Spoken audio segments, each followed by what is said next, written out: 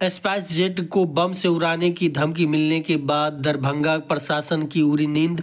बता दें कि दरभंगा एयरपोर्ट से हवाई सेवा शुरू है और दरभंगा एयरपोर्ट से मात्र एक स्पाइस जेट की फ़्लाइट की सेवा चल रही है, जिसे उड़ाने की धमकी दी गई।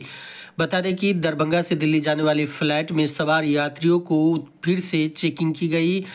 और उतार करके जहाँ एयरपोर्ट पर ही उतार दी गई और उसका चेकिंग की गई।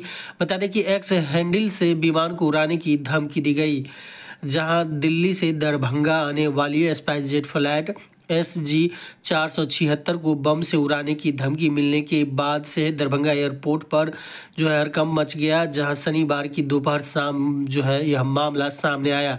सूचना पर सदर एसडीओ विकास कुमार और SDPO Amit Kumar Mabbi Q T और सहित कई थाने की पुलिस जो है पहुँची, जहाँ फ्लैट से यात्रियों को उतारने के बाद करीब ढाई घंटे तक गहन जाँच की गई। हालाँकि ऐसा कुछ भी बरामद नहीं हुआ। इससे दोपहर बाद की सभी फ्लाइटें जाँच के बाद ही दरभंगा एयरपोर्ट से गंतव्य के लिए उड़ान भरी।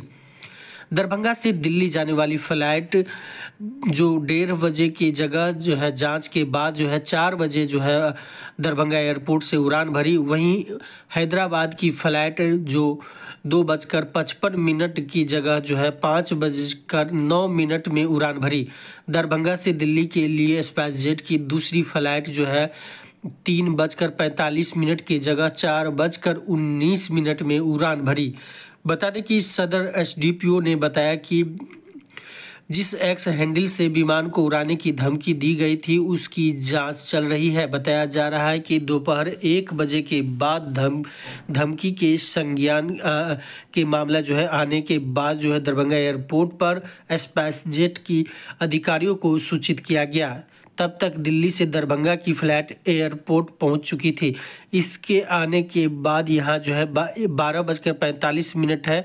सारे पैसेंजर को आने के बाद जो है सामान के साथ बाहर जा चुके थे। फिर सतर्कता बरतते हुए कमेटी का गठन किया गया, जिसमें एयरपोर्ट के अधिकारी भी थे। सभी की मीटिंग हुई। इसके बाद दरभंगा से दिल्ली जाने वाली फ़्लाइट एस जी आठ हज़ार चार सौ सतहत्तर में सवार यात्रियों को वापस लाकर पुनः चेकिंग की गई। धमकी देने वाले पाँच फ़्लाइट में बम होने की सूचना दी थी, जिससे एक दरभंगा की थी।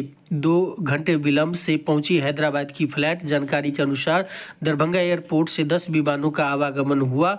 हैदराबाद की फ़्लाइट दो घंटे से अधिक विलंब से पहुँची। आराम से आराम से। सर क्या जानकारी मिली देखिए जानकारी ये प्राप्त हुई है कि एक ट्वीट जिसमें स्पाइस जेट को टैग किया गया था उस ट्वीट की जानकारी आज दिल्ली एयरपोर्ट पर स्पाइस जेट के जो मेन कंट्रोलिंग सेंटर है उसके इंजीनियरिंग विंग को हुई। ट्वीट करने का टाइमिंग है बारह बज के एक मिनट आज दोपहर का। ट्वीट को उनके संज्ञान में आने के बाद दरभंगा एयरपोर्ट पर जो स्पाइस जेट के अधिकारी हैं, उन्हें सूचित किया गया। ये जानकारी लगभग एक बजे के बाद प्राप्त हुई। एग्जैक्ट टाइम जो ट्वीट उन्हें प्राप्त हुई, उसका एग्जैक्ट टाइम नहीं पता चल पाया है। और तब तक जो Darbhanga to Delhi to Darbhanga flight थी, वो एयरबोर्न हो चुकी थी। उसके आने का यहाँ अराइवल टाइम बारह पैंतालीस है ट्वेल्व फोर्टी फाइव पी है। और लगभग एक बज के चौंतीस मिनट एग्जैक्टली यहाँ सूचना प्राप्त हुई। तब तक उस इनकमिंग फ़्लाइट के सारे पैसेंजर्स यहाँ अराइव करके अपने बैगेज के साथ एयरपोर्ट से लगभग बाहर निकल चुके थे। फिर भी ड्यू डिलीजेंस दिखाते हुए जो प्रक्रिया होती है सेफ्टी के नॉर्म्स और प्रोटोकॉल्स होते हैं एसओपी होते हैं, उनके अकॉर्डिंग यहाँ पर बॉम्ब सेट असेसमेंट कमेटी का गठन किया गया, जिसमें एयरपोर्ट के कैसो अफसर्स थे एयरलाइन के अफसर्स थे जो एयरपोर्ट अथॉरिटी हैं, उनके ऑफिसर्स थे, सब अधिकारियों की मौजूदगी में डिटेल मीटिंग हुई और जो वापस दरभंगा टू दिल्ली जाने वाली फ़्लाइट थी स्पाइस जेट की S G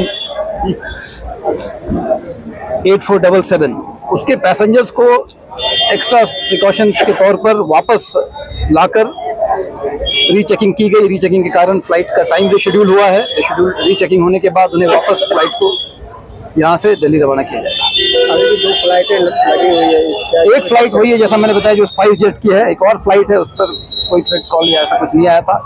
ये भी है स्टेब्लिश हो चुका है ये एक हुक्स कॉल था एक स्पाइस जेट के को इसमें टैग किया गया था और पाँच फ्लाइट्स की इसमें विवरणी थी कहा गया था कि इसमें बॉम्ब प्लांट किए गए हैं। लेकिन फ़्लाइट सेफली लैंड हो चुकी है पैसेंजर्स बाहर जा चुके हैं। तलाशी भी ले गई है फ़्लाइट की तलाशी ले गई है। हाँ फ़्लाइट को अच्छे से देखा गया है। कर दिया गया है या नहीं वो फ़्लाइट जो आई थी दिल्ली से वापस दिल्ली जा रही है फ्रॉम दरभंगा है? फ़िलहाल कुछ नहीं इसे मान जाएगी फेक कॉल माना जाए फेक कॉल माना जाएगा तो कहाँ से आया? फेक कॉल का कुछ पता चला सर जी ट्वीट का एक हैंडल है उस पर जाँच पड़ताल की जाएगी। स्पेसिफिक कोई नाम वाम कुछ इस तरह का जानकारी नहीं आ अजीब सा नाम है उस पर उसका उस पर जाँच की जाएगी।